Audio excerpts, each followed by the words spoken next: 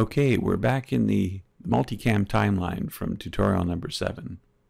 Um, at this point, we haven't yet flattened this timeline. So let's do that now. I'll just right click on the timeline, duplicate. I always like to keep a copy of the original timeline. I'll just name this one flatten. All right, so select one of my multicam clips and then I'll just Control or Command A to select all. Then you just right click and say flatten multicam clip. So this is just as I illustrated in tutorial number seven. Okay, so we've flattened the multicam timeline. And you'll see that these clips now retain their individual effects. So if you'll recall that in the camera angle 4, I used a dead pixel fixer to clean up a dead pixel that was on this uh, DSLR footage. And if we switch over to the color page for a moment, you will see that by this little rainbow box for each clip, that each clip still retains its primary grade. And those were the grades that I had placed on the individual subtracks within the multicam clip. But if I take, for example, camera angle 1 and I begin to make changes, you'll see that those changes don't apply to any of the other instances of camera angle 1. So let me just undo that. So what we're going to do today is we're going to use a feature in Resolve called groups. And grouping is very easy to use. It lets you combine a number of clips together, and then you can apply node grades that apply to that entire group at one time. So for example, I can start to select the first instance of camera one here, and then I'll control click to add a few more in. And then just right click on one of those, and I will say add into new group, and we'll call this cam one. Then you can see that they have a little green link symbol below each of the clips that belong to this group. And you'll see if I select a clip that's in a group, that in the node panel, there are actually two new options. I can apply a node grade pre-clip and a node grade post-clip. If I select a clip that is not yet in a group, you can see that you get just the option to apply a node grade to the individual clip or to the entire timeline. So let's continue on and add the balance of camera 1 to this same group. Okay, so I'll select one of the members of this camera 1 group and then I'll continue to control click and now I can add into the current group. So the current group is whichever one was selected by the first clip there. So I've now added these all in to the cam 001 group. And I'll continue through with camera 2, control clicking.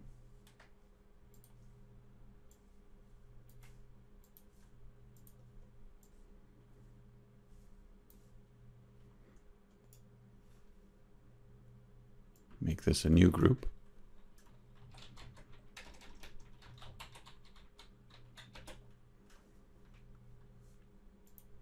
I just have one in that happens to be in group 3 in this example.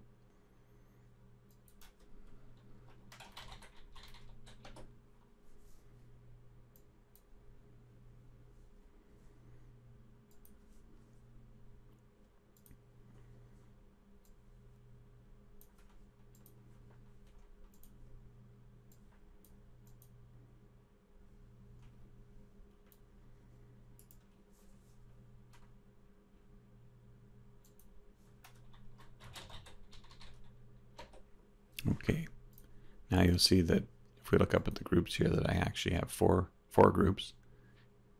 If I needed to remove one of these groups, you can simply come in and delete the group or rename it. It's actually very flexible. So,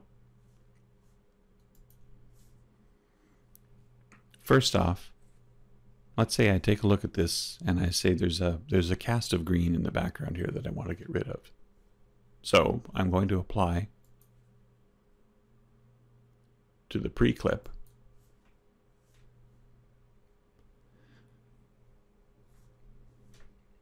And I'm just going to pull away from the opposite direction of green here, just pull a little bit out just to take that cast out.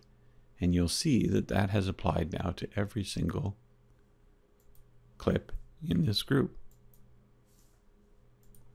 Similarly, we still see a green cast in the background here, so I'm going to pull that out of the gamma. I'm pulling away from the green into the magenta. Maybe a little bit towards the blue.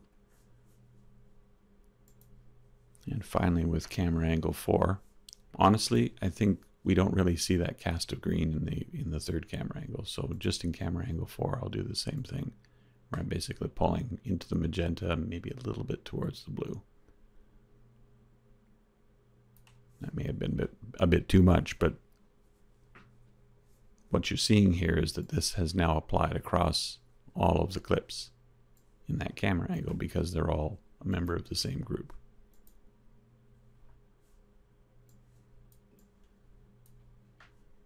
Okay. Now let's say, having done this, that I want to give a particular clip a special treatment, and I want to make sure I'm not applying it to all the clips in that group. So for example, this clip. I make sure I cl select Clip in the node panel. So now I'm going to be working with just this clip. It won't affect any of the other members in the group. and I'll use the 3D qualifier because I want to take some of the guitar and some of the shirt here. Let's just take a look at it by clicking the highlight button. And that's that's probably good. What I'm going to do is I'll take this matte, I'm going to invert this, and then I'll just use the saturation and take the saturation right out of everything. And back to the 3D qualifier, I'd like to bring in some of this baseball cap again. There we go. That's probably good enough. Okay. But you can see that we didn't desaturate the background of this image, nor this, so the other clips in the group have been left alone. Now similarly, I could switch over to the post clip and do a treatment, maybe a vignette or something for a particular camera angle that will only affect the particular group I'm working on. But with something like a vignette, chances are you'd rather apply it to the entire timeline. So I can switch over to timeline mode. You'll see I actually don't have a default node here, but I can add one very easily. So I'll add a corrector node, connect these up, and then let's, uh, I'll just use my mouse wheel to zoom out here a little bit. But let's create an oval, an elliptical rather, vignette. Maybe just bring that in about there. I'm going to soften that up quite a bit.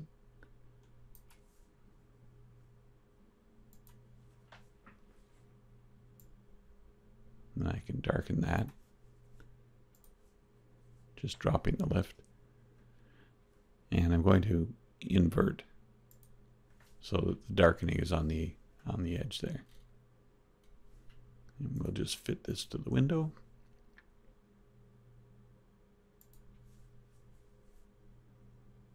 So you can see a slight edge there. It probably needs to be softened a little bit more. But you'll see that it's actually applied because I have the it set to timeline mode, applying to every clip on the timeline. We can go back to clip grade and see that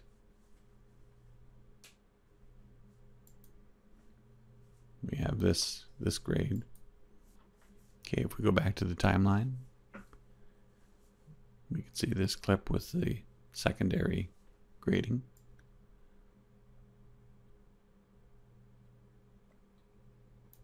You can see the vignette in here.